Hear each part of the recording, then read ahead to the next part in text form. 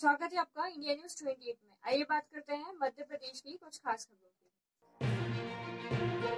मध्य प्रदेश के विदिशा में डंडापुरा में हटाया अतिक्रमण। तहसीलदार सरोज अग्निवंशी ने विदिशा में स्वच्छता अभियान के तहत हटाया अतिक्रमण, जहाँ पर रोड काफ़ी सकरा हो चुका था। नगर पालिका के अमले की टीम के साथ पहुँचे विदिशा डंडापुरा, जहाँ पर सुलभ कॉम्प्लेक्स के पास काफ़ी गंदगी बनी हुई थी। सरकारी भूमि को कराया अतिक्रमण मुक्त। विदिशा ब्यूरो मोनिश शाह की रिपोर्ट। किस अभियान के तहत की गई है। स्वच्छता अभियान के तहत की गई है। स्वच्छता अभियान चल रहा है यहाँ बहुत ज़्यादा गंदगी रहती थी रोड पे पूरी गंदगी रहती थी।